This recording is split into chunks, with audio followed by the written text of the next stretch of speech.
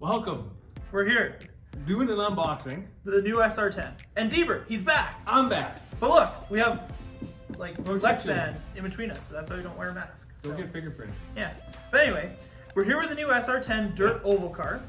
Uh, upon further inspection and, and further inspection of the specifications of this car, Mhm. we have figured out it is a two-wheel drive buggy chassis. Pretty much, yeah. And it uses two-wheel drive buggy rear tires, two-wheel drive buggy front tires Mm-hmm. with a new dirt oval compound. So all of your uh, AKA, Proline, or J Concepts two-wheel drive buggy tires that they have for dirt oval and the dirt oval compounds will work on these wheels if you so want them. I think these are a much nicer wheel than a standard dish very wheel. Nice looking wheel. But uh, we'll get into that further. So this is going to be the RTR minus battery and charger. There is a 730 uh, C, which is the combo pack that includes a 2S 3D LiPo, as well as a battery pack and a charger. But we didn't go that route. We just went with the standard 730. So let's open her up. So Chris, you do the honors. I'll give you the, the side cutting devices. I'm so excited about this car, folks. Yeah.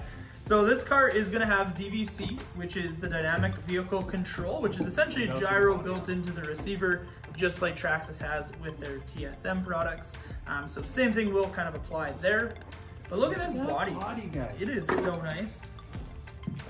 It's like a short course body, but it's on a buggy, right? Because so it's gonna be a little bit smaller and almost a little bit nicer scale.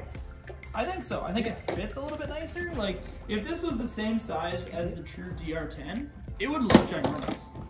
Right? like it would be huge. Would. So let's uh, pull everything out. So as Chris is cutting all this stuff. So first things first, we get the manual. Inside the manual, there is a declaration of conformity for the radio.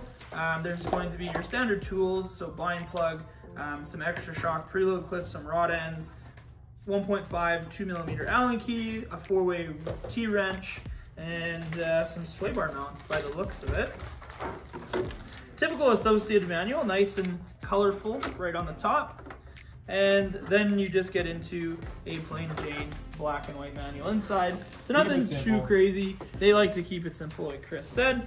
Um, but yeah, pretty solid little manual. You get some extra stuff in here talking about how to set your DVC and uh, what you're gonna get with the XP 120 radio. So here's the, the 2.4 gigahertz radio that you do get in the box.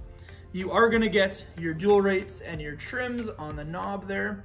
Nothing too fancy, but get you going. You will require four AA's for the transmitter. They do not give it to you in the box. Some companies do, some don't. You know. Correct. Correct. So what do we got here, Deeber? What do we This got? beautiful car. So it's got the Reedy 3300 kV brushless system in there. The two to three cell brushless capable uh, or uh, LiPo capable speed controller. Uh, Metal Gear high torque servo. Uh, all metal links on there. Nice aluminum bodied shocks.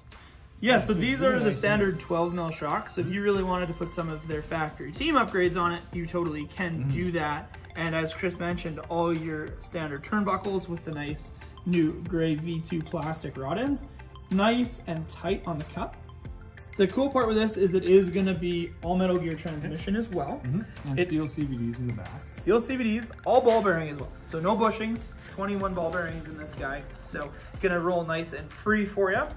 The body, we're kind of debating here. We, we're pretty sure it's like an 86, 87, Monte Carlo, Monte Carlo. GNX, something along that yeah, line. geometric chassis Yeah. anyway. Um, so this is common, like if you went out to the Wyatt Group Raceway, which is here in Saskatoon, this is what they would run Yeah. primarily in the street stock class or a Camaro. This is what all the Pro Trucks started life as. When we built our Pro Truck, we actually took the body off one of these and made it into a truck. So you, you win some, you lose some.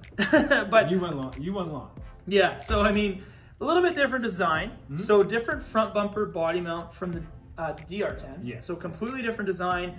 New design on the front bumper mount on the shock tower. New rear body mount rear and bumper bumper as too, yeah. well. So it's kind of a neat little car. They come in at a great like price point.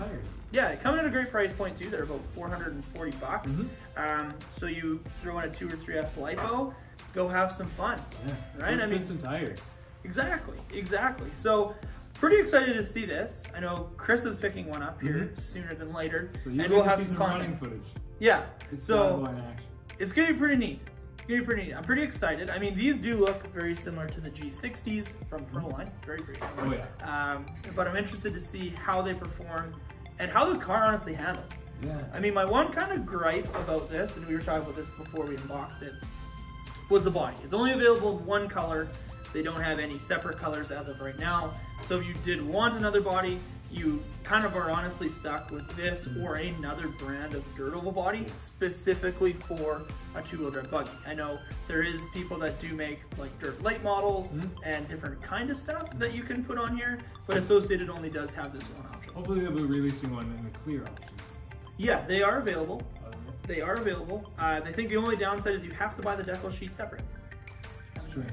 So, yeah, you win some, you lose some. but anyway, I mean, I like how they put door handles on here. Yeah, like it's very, it's a very scale looking body for being a dirt oval car. Yeah, like, it's kind of it's kind of odd, but anyway. I'm excited to get this out. So we'll have some more running footage here shortly of this car. But anyway, this is the new Team Associated SR10 Dirt Oval It's car. got so much great